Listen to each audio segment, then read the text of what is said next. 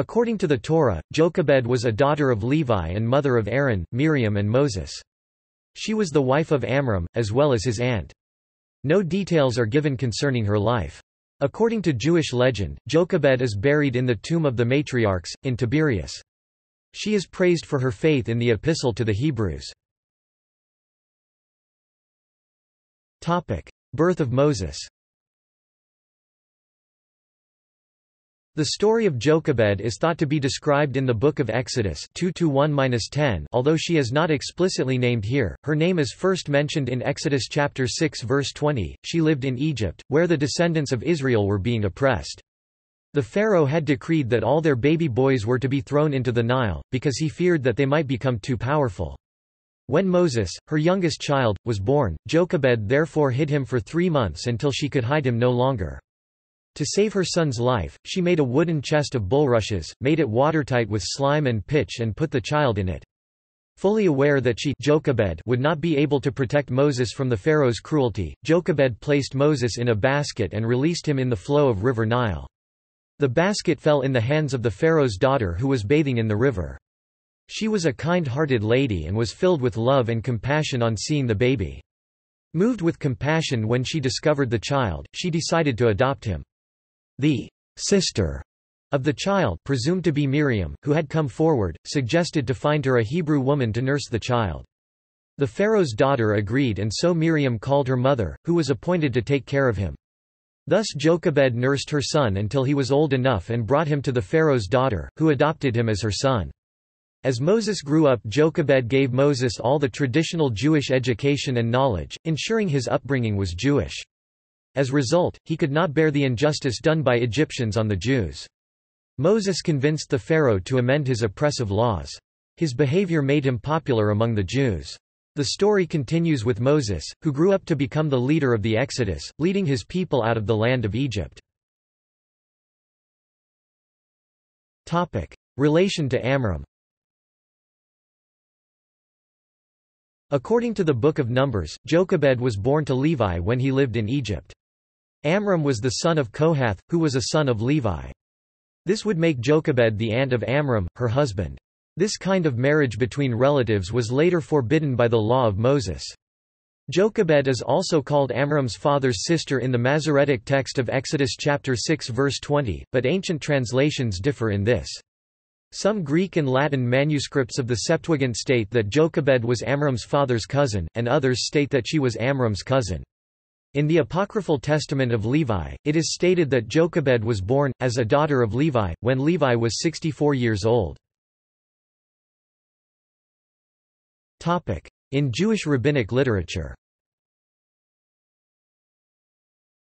Jochebed is identified by some rabbis in the Talmud with Shifra, one of the midwives described by the Book of Exodus as being ordered by Pharaoh to kill the newborn male children.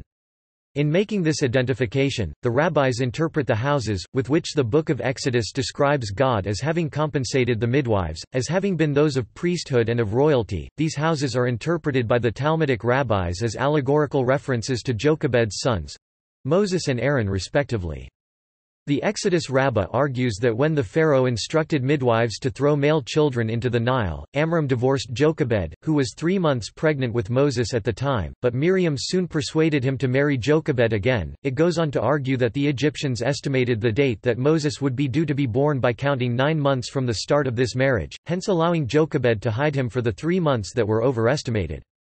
The Targum Pseudo-Jonathan identifies Jochebed as also having been wife of Elitzaphon ben Parnach, and the mother of Eldad and Medad. The text is ambiguous as to when this marriage occurred in relation to the marriages to Amram.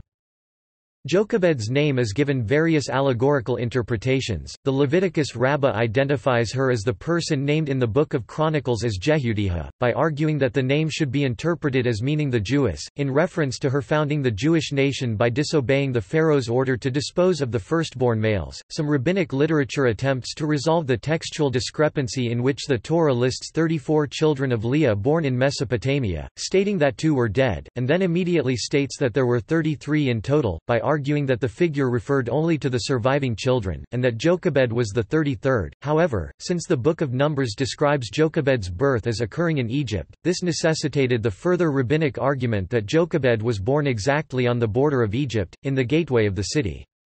Biblical scholars have instead simply proposed that the discrepancy in the enumeration of Leah's children is due to the list not originally having included Dinah, who was added by a later editor to introduce consistency with the story of the rape of Dinah. According to traditional rabbinic biblical chronology, Moses was 80 years old when the Exodus occurred. The Israelites had been in Egypt for 210 years in total, and thus in combination with the rabbinical claim that Jochebed was born on the border of Egypt, as her parents had entered it, this would require Jochebed Jochebed to have been 130 years old when she gave birth to Moses. Rabbinical literature regards this to have been alluded to by the biblical description of the dedication of the Israelite altar, at which 130 shekel weight of silver was offered. According to Josephus Flavius, the birth of Moses was an extraordinary event because Jochebed was spared the pain of childbearing due to both her and Amram's piety. The Haggadah extends this miraculous nature to Moses's conception by marking as 120 the age of Jochebed at conception. Several rabbinic commentaries attest to this and comment that maidenhood was restored to Jochebed at the time of her marriage to Amram. The restoration of maidenhood also included the resumption of her fertility. Textual criticism Textual scholars attribute the genealogy to the Book of Generations, a hypothetical document originating from a similar religiopolitical group and date to the priestly source. According to biblical scholars, the Torah's genealogy for Levi's descendants, is actually an etiological myth reflecting the fact that there were four different groups among the Levites, the Gershonites, Kohathites, Merarites, and Aaronids. Aaron, the eponymous ancestor of the Aaronids, couldn't be portrayed as a brother to Gershon, Kohath, and Merari, as the narrative about the birth of Moses brother of Aaron, which textual scholars attribute to the earlier Elohist source, mentions only that both his parents were Levites without identifying their names. Biblical scholars suspect that the Elohist account offers both matrilineal and patrilineal descent from Levites in order to magnify the religious credentials of Moses. It has been proposed by a number of biblical scholars that Ichabod and Jacob may ultimately be linguistic corruptions of Jochebed, and possibly once have referred to the same individual. Family tree According to the Masoretic text, Jochebed's family tree is as follows. According to the Septuagint however, Jochebed's family tree would be either as follows, or alternatively, with having Jochebed being the daughter of Merari or Gershon. Islamic view The Quran relates the story of Moses with some added details and slight differences. Jochebed's Arabic, efforts to save the baby Moses are recounted, along with the parting of the Red Sea, the burning bush and the Ten Commandments. Stories of unusual events during the pregnancy of Amina, mother of the Islamic prophet Muhammad, are compared with the similar experiences of Jochebed when she was carrying Moses. The significance of this comparison is understood to spring from the affinity of Arabic folklore for Hebrew traditions. In popular culture The film The Ten Commandments calls her Yoshebel. She appears briefly in The Prince of Egypt under the name Yocheved, portrayed by and resembling the late Israeli vocalist Ofra Haza. In the film, she sings a lullaby to baby Moses as she sets the basket carrying him adrift in the river, also pleading the river to deliver Moses, "...somewhere he can live free." Ofra sang the lullaby in 18 languages for the film's dubbing including her native Hebrew. Topic Notes Topic References